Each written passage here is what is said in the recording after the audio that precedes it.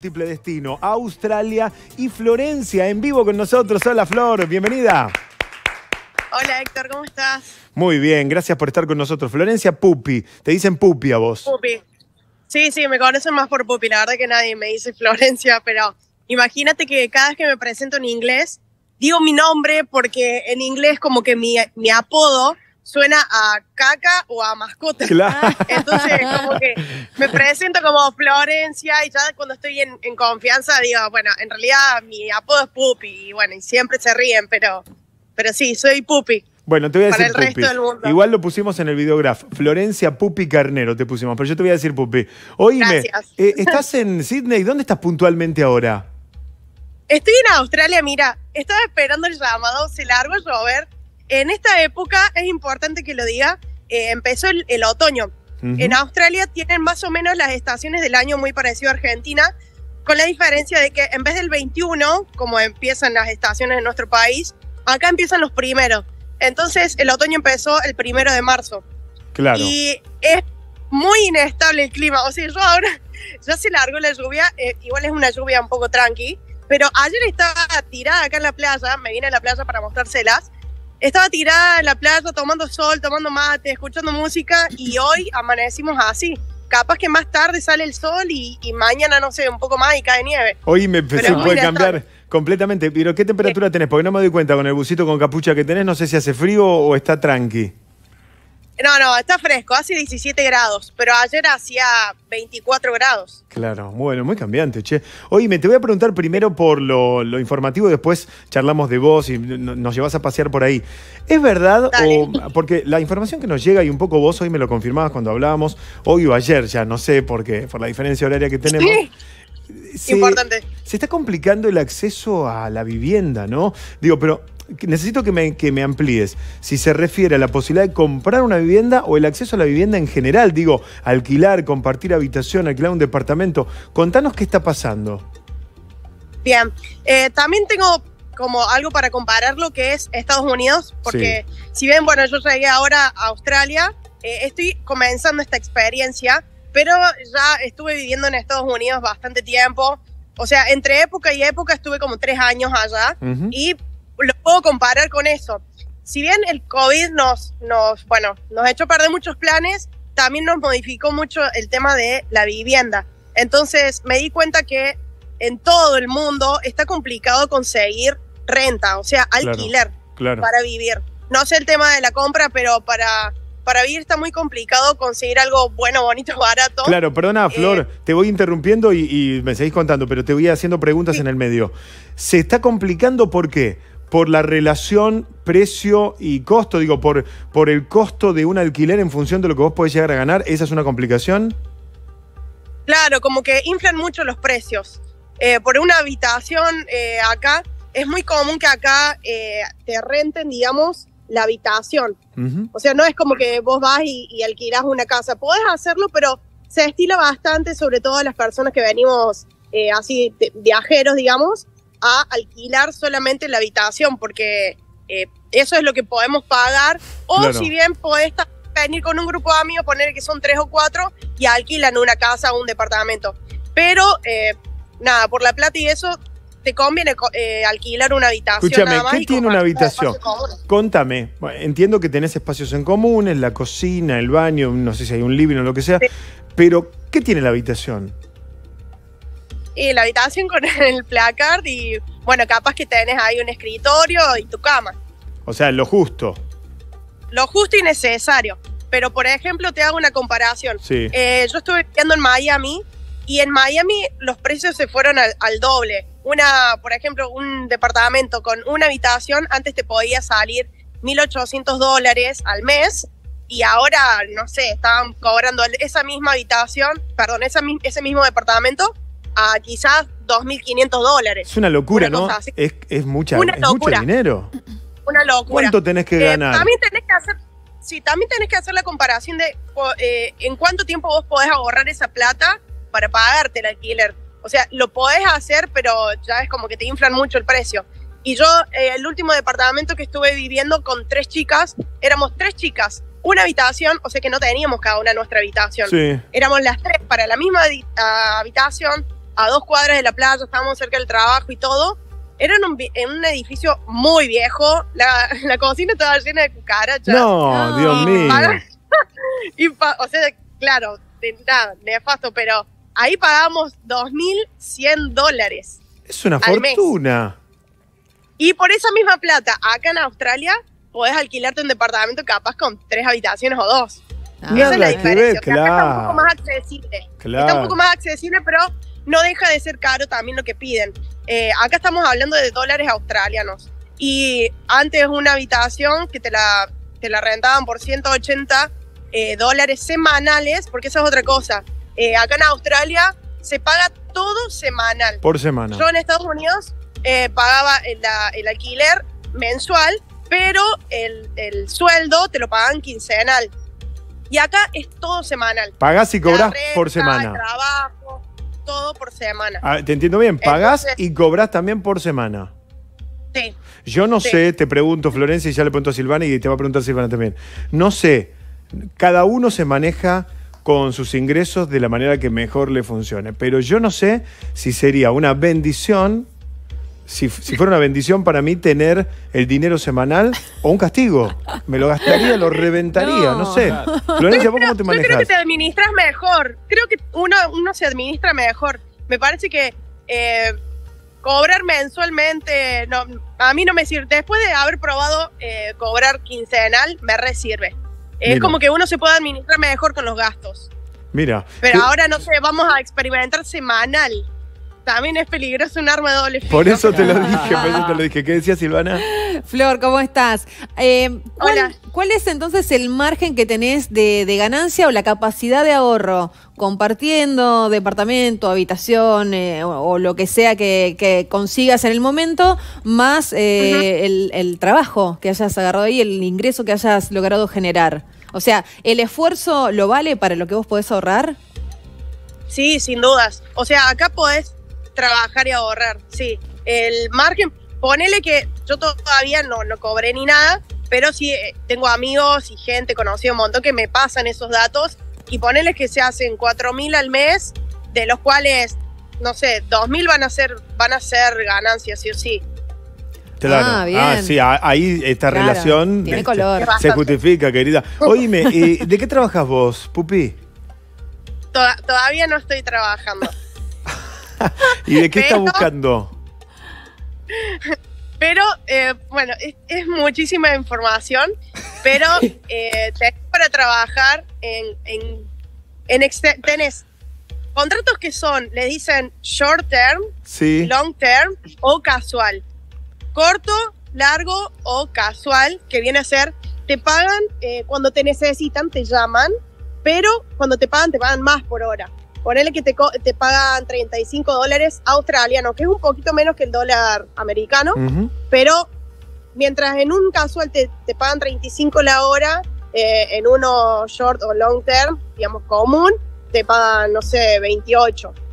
Claro. Hay bueno, diferencia. también ahí porque es un llamado medio Hay urgente. diferencia. Claro. Y, y acá los latinos, ni siquiera los latinos te diría, porque conocí muchísima gente que está haciendo, lo que yo estoy haciendo es la Working Holiday, que es eh, trabajar todo legal eh, con eh, 40, tenés 40 horas, eh, 40 horas, perdón, semanales o 20 horas semanales o el casual que te comentaba y podés extender la visa trabajando 88 días, o sea, tenés un año para trabajar. Claro. Y esto, puedes entrar y salir del país cuando quieras. O sea, tenés múltiples entradas y salidas.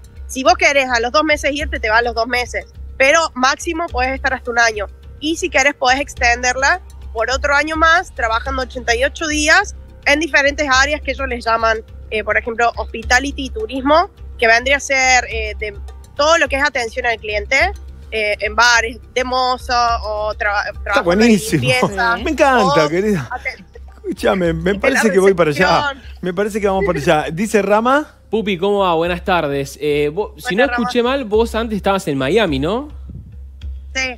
¿Qué, qué es lo que te llevó a ir de, de Estados Unidos directamente para Australia, además de la Working Holiday, obvio?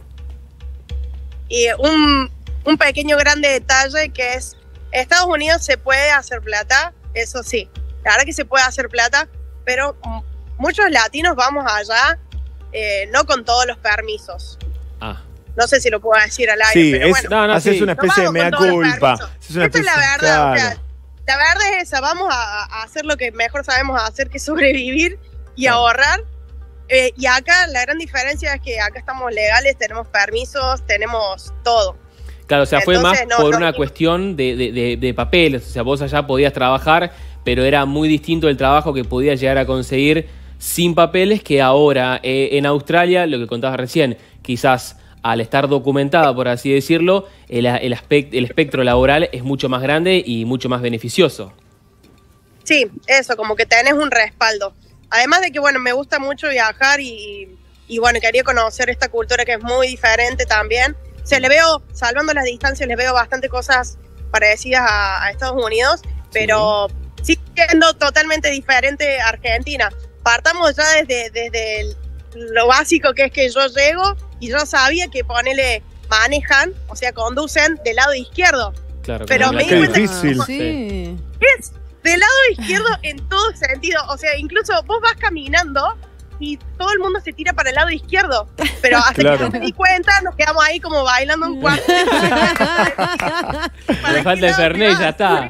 Qué locura. o sea, caminan por la izquierda, bueno, manejan por la izquierda, hay como todo. Oíme. Están, tan- tan dado vueltas de todos lados. Escucha, tengo y que además hacerte. la diferencia horaria. Sí, y la diferencia horaria también es como una especie de jet lag. Hoy me toca hacerte la última pregunta y te empezamos a despedir, pero queremos que nos muestres también un poquito el lugar en en el que estás. La, Sí, última, sí. la última pregunta que te hago es, pero, pero hay algo que no entiendo. ¿Vos llegaste a Australia y se te pegó la tonada cordobesa?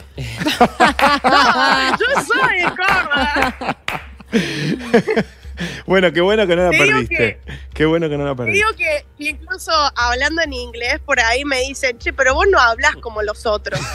y, ahí nos miramos y es como, wow, el acento en inglés eh, lo, lo mantenemos incluso, o sea, siendo de cualquier lado. Es Muy buenísimo. gracioso. Es buenísimo. Oíme, ¿nos mostrás un poquito el lugar? A ver. Sí, a ver cómo doy vuelta esto. Si podés, si no, ponete vos en plano, Ah. como, como lo quieras a ver manejar. cómo- acá. Mira, Mira. uy, mostranos, ¿qué, qué nos mostrás? Contanos. Bueno, esta es la playa que queda a cinco cuadras de, de donde estoy. Eh, allá no sé si llegan a ver para ahí dos locos en la, en la piedra, Sí. ahí sacándose fotos. Más allá arriba hay gente haciéndose un book de fotos también. Eh, bueno, las- los, ¿cómo se llama esto? Los bañeros, los rescues están todo el tiempo. Guardavidas. Eh, sí, los guardavidas. Eh, bueno, acá tenemos el parquecito que acá ayer nos hicimos un picnic. Allá arriba nos vamos a tomar mate y ver el atardecer súper lindo. Hay baños, los baños andan, tienen agua, tienen papel higiénico, nadie se los chorea. acá tenemos para cargar el- el- las botellas de agua o tomar agua, acá para limpiarte la arena y no llenar de arena tu casa. Acá ayer estaba tocando una bandita en vivo, o sea, nada, como Ocupado. un lugar Sí, está público buenísimo, donde ¿eh? La escalinata acá. de la Rambla de Mardel. Parece la escalinata de Mar del Plata, dice Silvana. La gente es muy saludable acá, como que si vos te venís cualquier día, ¿no? No hace falta que sea fin de semana.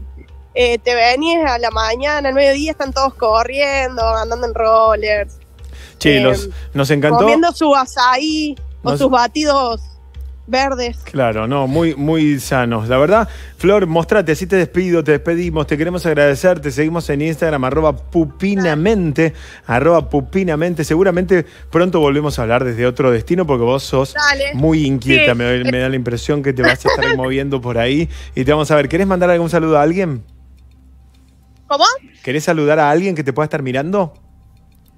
Eh, sí, a toda mi familia, a todos mis amigos y a mis seguidores que, que nada, que ven y siguen todo lo que yo hago y me apoyan, la verdad es un gran apoyo saber que tengo del otro lado gente que ve, que, que me manda su buena energía, su buena onda, eh, para mí es muy importante, así que bueno, mandarle un saludo a ellos y gracias por, por comunicarse con, conmigo y, y nada, y hacer esta nota. Y bueno, me pueden seguir en mis redes sociales que son todas pupinamente. Instagram, TikTok, en YouTube, que ahí subo mucho más de, de mis experiencias, digamos, por el mundo. Oíme, ¿podés saludarme en inglés pero con la tonada cordobesa diciendo sigan con más trasnoche 26 en inglés? bueno, a ver, dale. okay, guys, keep going with the transmission. hope you go really good and see you. Bravo, Vamos, chao Flor. Hasta la próxima. Chao, chao. Ahí estaba Florencia Pupi Carnero en vivo en Australia. Señoras y señores, múltiples destinos. Recién Australia y ahora Miami con Florencia Mainet en vivo. Hola Flor, bienvenida. Hola, ¿qué tal? ¿Cómo le va? ¿Todo bien? Bien, ¿dónde estás puntualmente? Estoy en Fort Lauderdale, puntualmente. Excelente. Fort La hora, Lauderdale, que es dame un el par puerto de de... yate más grande del mundo. Uh, a- ahora vamos a recorrer. Oíme, la hora, ¿qué hora tenés? Son las más o menos eh, 12.45, si no me equivoco. Una hora menos que nosotros. Bien. Exacto. ¿Y temperatura? No tengo idea. Pero te vemos fr- 80 tranquila. y pico. Pero- 80 y pico grados. eh, Fahrenheit. Pero oíme, no, estás, Fahrenheit, no sí. hace frío, está, está bien. No, está divino. Acá está divino. Acá, bueno, ya es primavera y siempre está divino todo el año acá. Hay un poquito de viento hoy, pero bueno, está hermoso siempre. Me acota nuestro productor Adrián Canepa que tenés 24 grados ahora ahí, que está con el termómetro, termómetro largo que llega Y a la allá. noche. 24 grados, dice. Ideal. Perfecto, bueno, una noche espectacular. No soy Fer, viste que Fer, Fer te, te tira toda la Ah, data. Fer es Fernando Quiroga, total. porque Ah, Florencia es amiga de Fernando Quiroga, nuestro amigo mandamos un también. beso enorme. Le mandamos un beso. Bueno, oíme, beso enorme. ¿cómo, ¿cómo es vivir en un yate? Porque realmente suena a película. Suena a película, sí, la verdad que es hermoso porque se viaja mucho, uno llega a lugares que quizá uno nunca hubiera ido inimaginables, ¿no? O sea, uno nunca hubiera ido si nunca se le hubiera ocurrido ir. La verdad que llegás a lugares súper exclusivos, conoces lugares espectaculares, las cosas que ves también a bordo Claro. del yate. El otro día estábamos hablando justamente con el capitán de eso, o sea, pensar que hay gente que paga miles y miles y miles de dólares por lo que nosotros nos pagan por hacer. Claro, O es sea, tu trabajo, es obviamente. Un sueño, claro. ¿Cuál es tu función exacta? Yo soy azafata, eh, como pareció a las azafatas de los aviones, pero hacemos otras tareas. Eh, hay distintos puestos a bordo de un barco y bueno, yo a mí me toca ser azafata, que es las que se encargan básicamente del interior del barco. Excelente. ¿Y un viaje cuánto puede durar? Son barcos privados, así que la verdad es que eh, lo- depende de los dueños. Claro. Eh, ellos eligen cuando quieren usar el barco, te avisan, puede ser una semana, dos semanas, 15 Pero días. ¿Te avisan sea, con antelación el itinerario? Vamos, vos sabés la cantidad de días que vas a estar a disposición. Te avisan con antelación y te cancelan con antelación también. Ah, bueno. Yo ahora me iba al Caribe, por ejemplo, y, me- y se canceló y ahora parece que me voy a Bahamas y así. Eh, sí, te avisan con antelación, todo tiene que estar bien organizado porque hay que hacer muchas compras, Claro. verdaderamente es todo, un, es todo un montaje, digamos, hay que organizar muchas cosas, ellos tienen ciertas preferencias muy particulares, entonces todo lo que ellos quieren no puede faltar. Eh, la marca de café que les gusta, el agua, la soda, la comida, la pequeña cosita, todo tiene que estar, así que se, se programa con tiempo, generalmente sí. Che, qué excelente. Le digo a Adrián Canepa, avísame Adri si tenemos el material que nos preparó Florencia, porque sé que estuviste grabando, armando un informe, ¿no? Sí, les envié, les envié un montón de videos y fotos porque la verdad que los lugares son espectaculares, las vistas son espectaculares, eh, las cosas que se ven, los lugares, las playas que recorremos, los tripulantes de yates realmente son únicos y los paisajes son increíbles. He cruzado tres veces el Atlántico, así que fue un sueño, la verdad, es un trabajo soñado, es un trabajo que uno lo disfruta muchísimo y realmente es un sueño. Por eso lo quiero compartir, lo quiero compartir con la gente de Latinoamérica para que ellos sepan que se puede trabajar de estas cosas y viajar por el mundo no solo gratis, sino que te paguen. Obviamente que el trabajo es duro, Claro. pero verdaderamente es un privilegio. Somos muy privilegiados. Sí, además es una historia que te vas adquiriendo para toda la vida, te queda la experiencia. ¿Qué, qué dice Silvana? Flor, ¿cómo estás? para toda la vida. Hola, ¿qué tal? ¿Cómo estás, Silvana? Por ejemplo, que decís que vas a, a Bahamas, ¿vos podés bajar también del yate o te tenés que quedar ahí mientras los demás bajan, visitan, disfrutan? Ahí vos te encargas de las tareas. No, sí, en general sí, siempre podemos bajar. 90% de todos los lugares que recorrí en el mundo pude bajar porque no siempre estamos con los huéspedes a bordo, así que en general podemos bajar, en general podemos. Eh, he conocido todas las islas a las que hemos ido, así que sí. Salvo que, bueno, en situaciones particulares, por ahí estamos anclados, me pasó en Capri, por ejemplo, en Positano, que no tuve la posibilidad de bajar, pero lo ves desde afuera y es asombroso igual. Claro, sí. Eh, pero son los únicos dos lugares que no he podido bajar. Pero también se navegan, se navegan los lugares y las vistas que se ven desde el barco son únicas. Por eso también tienen los barcos, ¿no? Porque a los lugares a los que se llega son las playas, las calas en Europa, son impresionantes. Así que gracias a Dios sí he tenido la posibilidad de bajar a, a todos. Qué lindo. Flor, buenas noches. Rama te saluda. Yo te quería preguntar, más que Buenas nada, noches, hola, Rama. cuando estás en el medio de, de la nada, a la noche, e- ese silencio, yo, por- yo te digo porque lo he visto en varios videos y a, y a mí me parece que ese silencio de por sí te aturde. ¿Cómo es esa sensación de estar, obviamente estás en el barco, pero en el medio vos mirás para el Qué costado poeta igual. y no hay ¿eh? nada? No, bueno, pero porque la verdad es que impresiona. Yo veo los videos y digo, yo estoy ahí y me muero. Sí, no, es hermoso, la verdad, te tiene que gustar. Lo que no te conviene pensar es cuando estás en el medio del Atlántico cruzando la cantidad de kilómetros y kilómetros y kilómetros que tenés para abajo. O sea, Ay, Dios mío. eso es lo que más miedo da Ah, a veces. claro. Eso uno no conviene ponérselo a pensar, porque si uno Mm. se pone a pensar eso, ahí sonaste. Sí, y es lo mismo que Eh, los aviones, que se van a caer y bueno, no- uno de cada tanto se cae, pero más que nada pensás en lo positivo, siempre. Exacto, siempre pensás en lo positivo, siempre, siempre, siempre. Pero es lindo, es lindo, la verdad que es lindo. Eh, yo, ya te digo, crucé tres veces el Atlántico y se me hizo como una especie de hobby porque Ah, es un sueño. Realmente los, los atardeceres que ves, los delfines, eh, es- hay mucha paz. Realmente mirás a tu alrededor, haces así un giro 360 y no ves absolutamente nada, ni un avión Mm. más que algún ave ahí en las perdidas. Y realmente es hermoso, es hermoso. A mí realmente me fascina. Te tiene que gustar. No tenés ni que pensar ni te tiene que dar miedo. Porque ahí es cuando te puede agarrar un pequeño ataque de pánico, digamos. Claro, Pero yo tengo que hacer No, ahora el papel del miedoso. Y te tengo que preguntar también por las tormentas. ¿Ustedes Pregunte. más o menos lo tienen proyectado eso de que no te agarre una tormenta Sí. en el medio del Atlántico? Porque Siempre. ahí sí, agárrate. Puede pasar igual. Puede pasar como, como siempre puede pasar cualquier cosa. Claro. A mí no me pasó nunca, sí he- hemos pasado tormentas, pero, pero se esquivan en general porque está todo programado, están todas las rutas programadas. Igualmente, obviamente, los barcos tienen un piloto automático, no hacen más nada más que apretar un botón de puerto a puerto, esos 15 días que estás cruzando, ya. Y ya está. Después se puede como, digamos, esquivar justamente las tormentas y esas cosas, pero eh, la verdad que nunca me ha pasado tener tormentas así fuerte como la que uno se imagina De las que puede películas, pasar. claro, sí, de las como películas. en las películas. como la tormenta perfecta, por ejemplo. claro. Ahora, hablando no de eso. Sí las ves, las escuchá, ves, no, así como en el avión, a veces ves una película, no te vas a poner a ver la tormenta perfecta en el medio de la, No. travesía, ¿no? Una locura. Claro. Claro. Náufrago. Flor. No, no, bueno, náufrago no ocurrió en un mar, pero. No, pero no, igual, no, nada no. con agua. Titanic.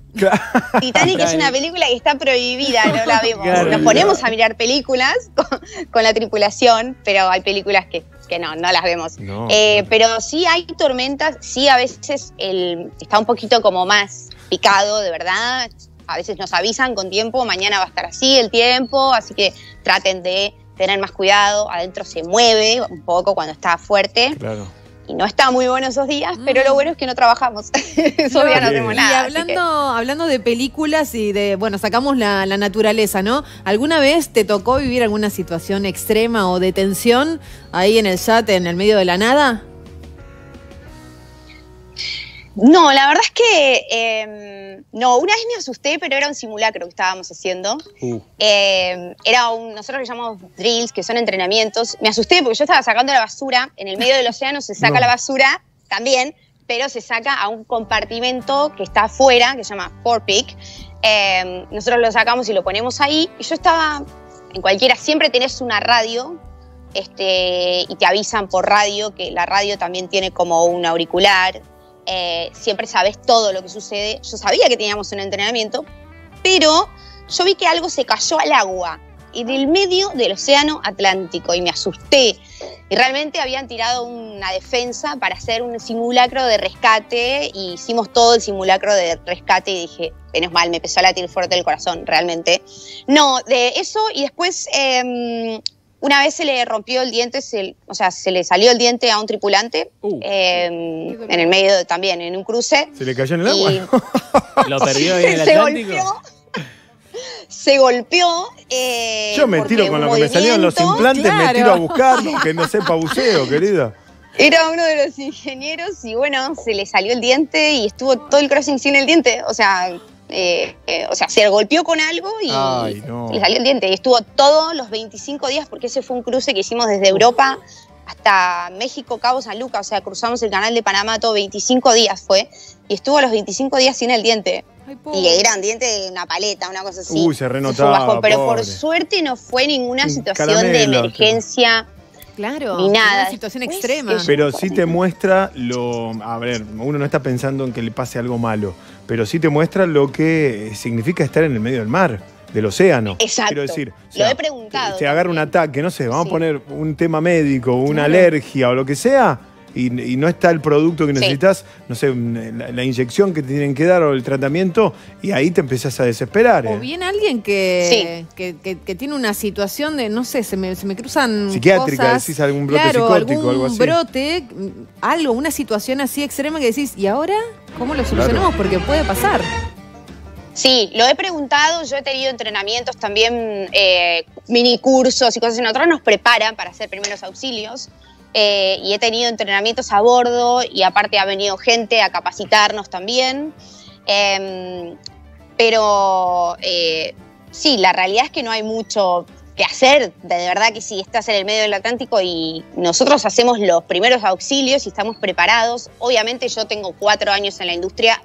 Hay gente que tiene a bordo siempre mucho más y está mucho más preparado que uno. Entonces esos son los que se encargan, digamos, de, de hacer los primeros auxilios.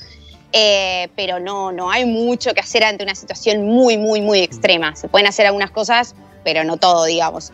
Eh, pero por suerte no ha pasado nunca nada así grave, ninguna situación, ni me he enterado de nada. Bueno, buenísimo, Por mejor. suerte, ¿no? Vamos a cambiar Sí. de Sí, tema. cambiamos de quieren- tema porque somos Algo, unos- claro. Uh, ya- Voy llamó, caminando y no, me llamó una lechuza que no, se- que no seamos tan lechuzones, me están. Claro, diciendo. yo estaba un, un búho amigo me dijo, no sean tan Sí, sí, lechuzas. sí, sí, sí. Claro, ¿qué decir? O sea, yo te quería preguntar más que nada por esto, porque vos decías que los cruces duran 15, 25 días, más, menos, y, y vos siempre estás con gente nueva. Digo, ¿cómo, cómo es para vos el desafío no Siempre. solamente de viajar eh, eh, en el mar, obviamente, en el océano, sino también de conocer gente nueva todo el tiempo? ¿Vos te relacionás con, Todo el tiempo. con los tripulantes, digamos? Todo el tiempo y aparte otras culturas, porque, Claro. o sea, si de casualidad alguien habla en español, tenés mucha suerte, porque Claro. en general no hablan en español, hablan todos en... Me estoy yendo acá al puerto, a, a la parte donde están los barcos, así les muestro por lo menos un poco los barcos. Dale. eh, los yates atrás. Eh, sí, todo el tiempo, todo el tiempo. Y aparte yo lo que hago en la industria es lo que se llama freelance, que en general siempre estoy, o sea, siempre estoy cambiando de barcos por una cuestión de que yo lo quiero hacer así, Mm. porque no me quiero atar a ningún barco y porque aparte tengo este otro trabajo de, de conectar con la gente a través de las redes sociales y contarle a todo el mundo eh, esta experiencia. Entonces, para yo poder tener ese tiempo, trabajo freelance, entonces hago un mes, después un mes me quedo en mi casa y bueno, y ahí todo el tiempo, todo el tiempo gente nueva, huéspedes nuevos, todo nuevo. Es Es buenísimo. espectacular, Tu sí. trabajo te Y- reenvidiamos. Todo, todo también, gente de, por ejemplo, de Australia, gente de Sudáfrica, gente de Nueva Zelanda, hice muchos amigos. En este barco, por ejemplo, este que está acá atrás, trabajé hace un año, fue una experiencia espectacular. Acá hay muchos franceses en este barco. Justo Eh, eso, con los idiomas, ¿cómo haces? El, el universal, obviamente, el inglés, ¿no? Pero si podés, te Inglés. relacionás con otros con otras lenguas o sí o sí inglés y, y español. Inglés y español cuando hay algún tripulante que es latino, Mm. pero siempre el, el idioma principal en los yates es el inglés. O sea, no te queda otra Claro. que hablar en inglés porque si no se te complica un poco más. En general, en los barcos de este tamaño o más grandes, el 90% de los tripulantes hablan en inglés. Y eh, después tenés los barcos más chicos, que es la zona de Miami, por ejemplo, viste que hay muchos latinos, mucho Spanish speaking. Eh, entonces, bueno, ahí por ahí tenés más posibilidades y más chances de que por ahí alguien hable tu idioma, pero en general es, es menos probable. Che, buenísimo todo. ¿Llegás? ¿Hay chance de entrar a un yate o imposible? A ver. No, hasta ahora es imposible. Si hubiera sido un poco más temprano, capaz que sí. Acá tengo algunos chicos A ver. Que justo están acá trabajando, pero no, no creo que me dejen. Son privados. Hi, que- a how's it going? No, no. No, No no, por la duda no. No hagamos locura, No, Florencia. en general, en general los barcos son privados. Si, me- si hubiera sido un poco más temprano, eh, hubiera podido preguntar, pero a esta hora están todos durmiendo aparte. No, mejor vamos pero- a ir. Escuchá, Te lo prometo lo hacemos para, la próxima. Lo armamos bien para, Para la próxima. próxima, Che, te queremos Pero bueno, por lo menos acá pude mostrar un poquito, Buenísimo. un Una poquito por atrás. Me encanta, me encantan los yates. Te mandamos un beso grande, estuvo en pantalla todo el tiempo tu Instagram. Antes de despedirte, ¿querés mandarle Gracias. algún saludo a alguien? Sí, quiero mandar un saludo grande a mi mamá que me está viendo, que te adora, te ve todas las noches, te aviso, y esto es verdad. ¿Cómo se llama Los tu ve mamá? todas las noches. Silvia fue el cumpleaños el lunes pasado, así que si querés mandarle un feliz cumpleaños. Silvia, feliz cumple, gracias por mirarnos siempre. O sea, vos llegaste gracias a tu mamá. Casi, casi, porque ella me dice, hija, tenés que salir con Héctor, tenés que salir hablando con Héctor. Está viéndome desde mi casa con, con el gato en el sillón. La amo. Eh, muchas, muchas gracias por verme, muchas gracias siempre por estar. Eh, saludos a todos, eh, todos los que quieran pasar ahí por mi Instagram. Yo a través del Instagram comparto la información para todos los que quieran trabajar en yates eh, y se animen a viajar por el mundo y, y se abran un poco sus mentes. Un saludo a Guido, que me dijo que también que iba a estar mirándome, es un amigo mío. Eh, un saludo a, a- a todos mis amigos y a todos los que me quieren. Te mandamos un beso A toda grande. Argentina que amo. Gracias, Florencia. Nos vemos pronto. Gracias, gracias. Beso enorme. Chao, hasta la próxima. Florencia. Maineta en vivo. chao. Qué bueno los yates, todo. Qué ganas de estar por allá, ¿no? Navegando. ¿Ustedes se animan a ir a una travesía de, dicen, 20 días en el medio del océano? ¿Sí o no? Vamos. ¿Te animás? Vamos con el, con el móvil voy. Mirá qué audaz. ¿Vos te, ani- Con el vos-. ¿Vos te animás, Rama? Recontra, me encanta. ¿20 días? Sí, 20. Yo no. Hasta un mes te diría. No, yo no me animo. Una semana como mucho. Siempre ponemos una tele, cosa de que me entere cómo viene Ya la mano. Necesito volver a tierra firme. No, no, no sé si. me- Capaz que tengo que. Si me invitan todo pago, me animo. Pero- Estamos hablando de eso. Estamos hablando de si hay que pagar. Si estoy invitado, me animo a todo. Esos ¿no? yates tienen firmeza, no es un botecito que se mueve. No, no te creas, ¿eh? No te creas. A veces el movimiento es leve, pero Sí. constante. Y te empezás a marear. Y no sí, le preguntamos bueno. eso, pero se nos pasó. Pero hay un periodo de adaptación, me, me imagino. Estoy seguro. Pero bueno, son cosas que no nos van a pasar en la vida. No. Así que sigamos haciendo para que sean las 3 de la mañana. Y vamos a viajar. Es el momento de irnos a Oslo. Allí Adrián, en vivo, nos espera. Este aplauso es para vos. Hola Adrián, ¿cómo te va? Vamos, Adrián. ¿Cómo andan, chicos? Un gusto estar de nuevo hablando con ustedes. Qué bueno, para nosotros también. Pegaste toda la vuelta, ¿no? Porque estuviste allá, estuviste acá, estuviste por Estados Unidos. Qué travesía que te mandaste. sí. La, la última vez fue un poquito más, más top, que estaba hablando ahí desde Manhattan. Ahora te hablo de la, de la cocina de mi casa, tomando mate. Excelente, oíme. ¿Qué temperatura tendrás aproximadamente ahora y qué hora es allá? Recién chequeé para ver si los, los atendía de nuevo por la ciudad como hicimos alguna vez, pero hace menos 7 grados. Así que preferí quedarme un poquito en el sobre. Por Está- las dudas, Está bastante frío acá. Sí, sí, sí, está bastante frío. Oíme, ¿en qué Está un- cambio? es un invierno Eh, justo poco largo. eh, tiene, Sí. tiene relación con la temperatura. Noruega se convirtió en el primer proveedor de gas en el bloque europeo en función de, además, un escenario bélico, si se quiere, ¿no? Por todo lo que ya sabemos que está Sí. pasando. Contame Claro. eh, cómo se tomó esta noticia, cómo repercute adentro de Noruega. Bueno, de alguna manera, primero hay que, que saber que nosotros no usamos gas. Todo eléctrico. O sea, yo, todo eléctrico. Yo en mi casa no, no tengo gas. O sea que en ese sentido es, eh, es una negociación, digamos, país a Unión Europea. Y, ah, bueno, se ha tomado en algún momento, se discutió o se empezó a decir eh, que de hecho lo que vos comentabas del, del escenario bélico, si era ético o no, viste que Noruega estuviera vendiendo gas al resto y los precios, y, Claro, pero básicamente es lo que hay. claro. Eh, los precios han subido mucho de muchas cosas y eh, por circunstancias Noruega se, se transformó en un proveedor de, de gas de, de Europa, cuando en realidad había otros jugadores que eran más grandes, ¿no? Sí, pero es fundamental lo que dijiste, ¿no? Para los noruegos el hecho quizá eh, es una lectura, si se quiere, económica, política, pero que no los roza por esto que decís. Ya la calefacción es eléctrica, Claro, todo es eléctrico. todo eléctrico. Eh, y la- las cocinas también, o sea, yo no conozco ninguna casa, por ejemplo, que sea eh, a gas. Sí, puede llegar a ver, no lo sé, pero puede llegar a ser que las cocinas profesionales sí usen garrafas, eh, pero, pero yo no he visto. Claro. Oíme, ahora tenés 2 grados bajo cero. Para nosotros. No, no, 7. 7, ah, Siete, 7 siete. bajo Ay. Para nosotros es un extremo frío, pero esa temperatura es eh, un frío que ustedes soportan, puede ser mucho más frío. Me pasa que acá es un frío seco, la verdad. A veces yo le comento a la gente, me acuerdo de los inviernos en Buenos Aires o incluso en Brooklyn, que, que voy mucho a laburar allá. Y si estás, por ejemplo, en cero en Brooklyn, pero el viento te mata. A mí Claro. es, durísimo. Y acá te acostumbras, no hay, no hay mucho viento.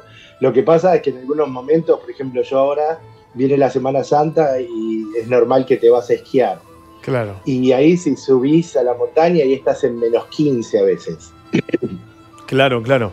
Pero como vos bien Yo decís, he el- esquiado en menos 18. Dios mío. Oíme, Adrián, vos ya nos contaste la historia, pero eh, es una nueva temporada, hay mucha gente que está mirándonos por primera vez. Quiero Dale, que, dale, que nos relates cómo es que llegaste a vivir a, a Noruega. ¿Cómo, ¿Qué te llevó el amor, el trabajo, las decisiones que fuiste tomando? Bueno, en realidad yo en Noruega ya estaba viviendo, eh, antes de vivir en Noruega yo vivía en Bélgica. Eh, en Bélgica sí me llevó el amor, digamos, eh, a mi mujer la conocí bailando tango en la Glorieta en Buenos Aires y empezamos a, a viajar para un lado y para el otro y, eh, y terminé viviendo en Bélgica. En Noruega terminé viviendo porque me ofrecieron trabajar en la televisión acá y a mi mujer también le ofrecieron eh, un trabajo en el conservatorio y nos mudamos para acá. Yo terminé trabajando en un programa de sátira política eh, por algunas temporadas que estaba, estaba muy bueno. O sea, los dos artistas, en, rubros diferentes, pero los dos eh, personalidades del mundo del espectáculo, en el que, en este caso, la vocación, porque además de ser la profesión, primero es la vocación, lo fue llevando juntos. Lo más difícil, no sé si es un prejuicio, y acá te va a tocar a vos contarnos tu opinión. No sé si es un prejuicio mío, tal vez de la gente también que nos mira, o si en realidad eh, pasa más que lo que uno lo sabe, pero dos personas que se dedican a lo mismo, te lo, lo hago groseramente hablando, ¿no? Al mundo del espectáculo Dale, dale, dale. que puedan encontrarse, que puedan llevarse bien y que puedan coincidir en estos viajes de vivir por distintos lugares del mundo. Creo que son una pareja excepcional. Bueno, O estoy, o soy muy prejuicioso. No, quizás ahí te fuiste un poco al pasto dentro de la última, pero qué sé yo.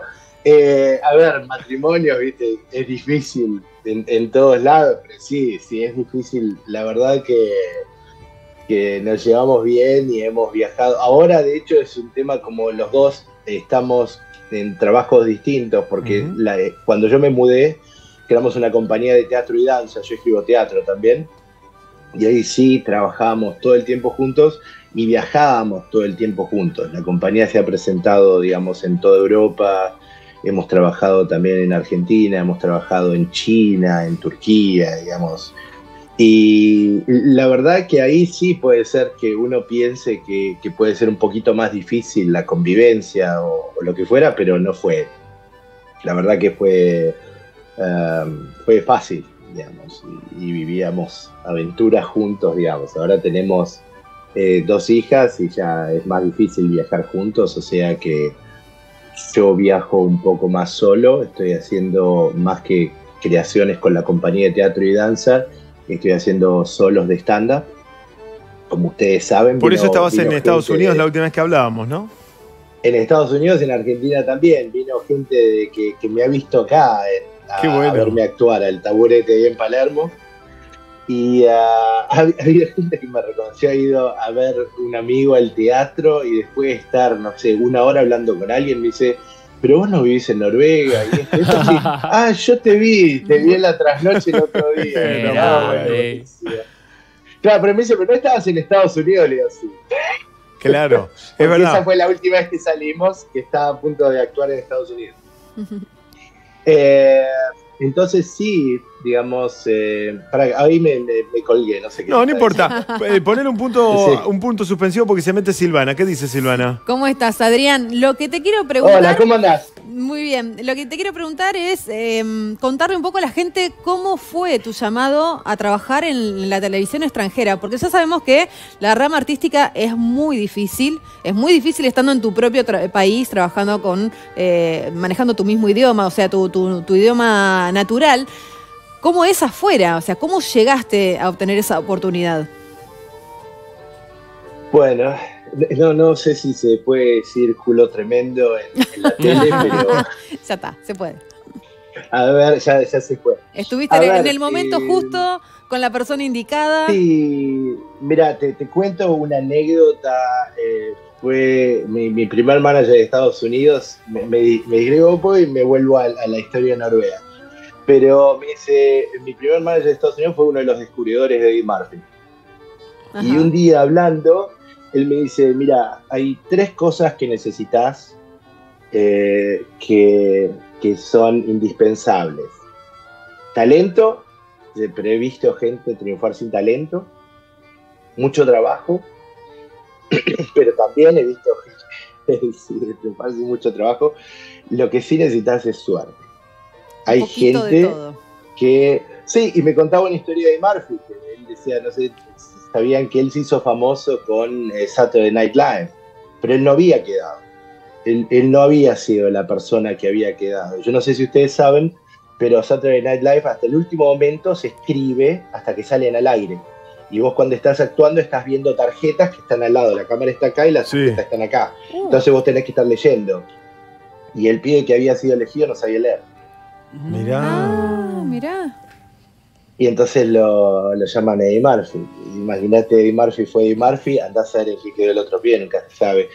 Eh, pero para mí, digamos, yo lo tomo en pinzas el tema de la suerte, porque para mí también el trabajo se disfraza de suerte, muchas veces. El, el estar, viste, y estar, y estar, y estar, y estar, también te lleva. Pero en este caso fue eh, estábamos pensando en venir a Noruega, pero estábamos viviendo acá, estábamos en Bélgica y eh, mi mujer tenía eh, un ex compañero que trabajaba en los medios, pero en internet, no en televisión. Y yo le digo, mandale algo mío que, he hecho, decirle que estamos pensando en venir acá a ver si hay algo.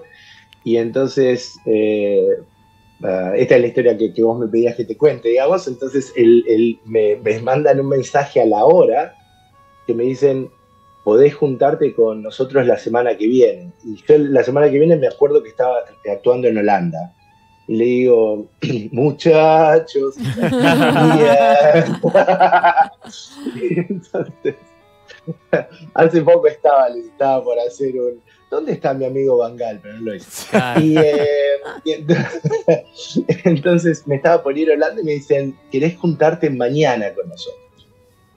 Que es muy raro, ¿viste? Yo estaba en ese momento viajando por Noruega y me junté con ellos. Iba a hacer una reunión de media hora, una reunión de tres horas. Yo les conté cómo vería mi incursión en un posible programa y ellos me dijeron, mira, si nos llamabas un día, un día antes, un día después, no teníamos nada, pero ese día nos estaban dando luz verde para nuestro primer programa de televisión. Wow. Que fue como eh, un Saturday Night Live acá, pero no, no así popular, sino más de niche, más de una... de, de mucho, muchos intelectuales, muchos académicos, mucha gente joven le gustaba el, el show porque planteaba como un humor muy inteligente pero a la vez la gente también, por lo que preguntabas vos, es tal cual, es muy difícil laburar acá, en general en Europa. Eh, y yo fui de los siete comediantes el único que no hablaba el idioma. Mm. Entonces yo también había planteado cosas que tenían que ver con, yo era un periodista argentino que venía a conocer Noruega. Claro. Entonces funcionaba muy bien, hacíamos muchas cámaras ocultas y cosas así, lo que pasa que eran eh, todo eh, ta el target de nuestros chistes era toda gente muy famosa o muy poderosa. Eran políticos, era la primer ministro, era todo el equipo de esquí, que es como nuestro equipo de fútbol. A mí cuando vine a hablar dijeron, bueno, acá puedes hacer chistes sobre todo, realmente se hacen chistes en televisión sobre aborto, pena de muerte, lo que quieras. Dice, pero el esquí es algo que la gente a veces toma. Sí, a veces hay gente que se la toma personalmente y digo, ya está, yo me dediqué a hacer pelota del equipo de esquí. A tanto que en algún momento llamaron y dijeron por el argentino cambia toda nuestra relación con su canal, no le vamos a dar más entrevistas porque los volvía locos. Sí, los volvía locos. Pero era, era genial, nosotros estábamos todos contentos. Eh, ahora ya hablo, ya tengo otras cosas. Eh, cuando después que hablamos con ustedes, bueno, una cosa loca que me pasó fue que de los últimos dos shows que he hecho, se me planteó hacer una eh, comedia sobre colonización y decolonización. Entonces, porque me pareció que los británicos nunca sabían, o sea, tienen como un conocimiento diametralmente opuesto a lo que nosotros tenemos en relación a nuestro país, o lo que puede ser también una historia multietcana que es Malvinas, o, lo que es la colonización en general. Y eh, me invitaron, fue, bueno, también carambola, si querés suerte, pero estaba haciéndolo, yo los shows los estreno en Edimburgo, en un festival que se llama el Fringe, y hago veintipico de shows seguidos. Y viene una persona y me dice, ¿te gustaría hacerlo en Cambridge este show? Y el, el show es sobre colonización, o sea, que no es pro imperio, es anti imperio, claramente. Y yo dije, esto no va a pasar nunca. Pasó, fui a una conferencia internacional para jóvenes exitosos latinoamericanos conocí una profesora que me dijo esto podría ser un research de PhD, de un doctorado. Eso fue antes de la pandemia, o sea que me quedó picando. Y durante la pandemia dije, yo no sé si lo hemos hablado alguna vez, pero yo trabajaba como abogado en Argentina. Sí. Sí, sí, y me acuerdo que, está bueno lo que estás contando porque eh, me, recuerdo el remate porque ya nos lo habías contado en otro, en otro programa, porque realmente lo que está diciendo Adrián, contale el remate a la gente, porque es impresionante que estoy haciendo un máster en derechos humanos. ¿Es en el remate? no, no, en, relación, no, y además en relación a tu show. Contanos cómo fue el desarrollo del show en Inglaterra. No, el show, no, me acuerdo de lo que hemos hablado. Ahora yo te cuento las anécdotas de nuevo, no, no me acuerdo qué mentira te conté antes. Pero no, yo me acuerdo que me habías relatado la reacción que, a ver si yo también, porque en algo somos parecidos, capaz que yo me invento un recuerdo, pero yo, por lo que recuerdo, vos me habías dicho que... este pibe, este pibe se, inventa una historia nueva en cada programa. No, pero escuchá, yo te hago la segunda, oíme. No. Me acuerdo, me acuerdo, me acuerdo. Lo que recuerdo es el tema de las reacciones, que te sorprendieron para bien.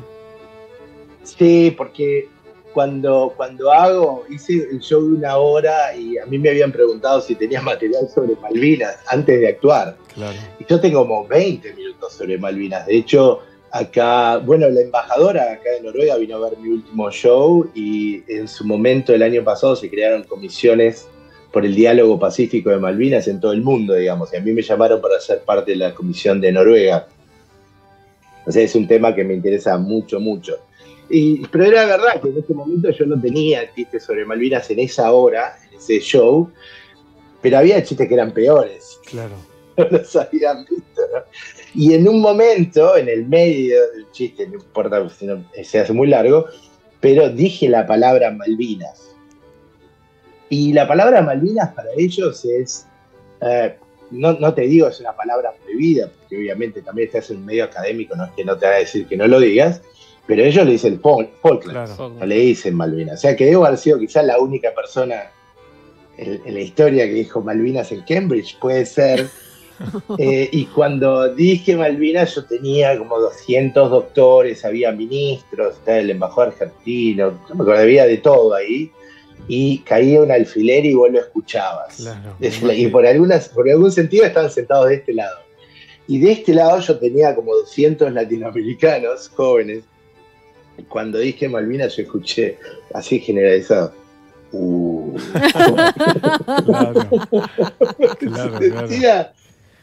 sentía, después me dijeron, no, creíamos que iba a seguir tan lejos en Cambridge. Le digo, pero qué, eh, como le dicen los yankees cuando, cuando haces un chiste too soon, muy rápido.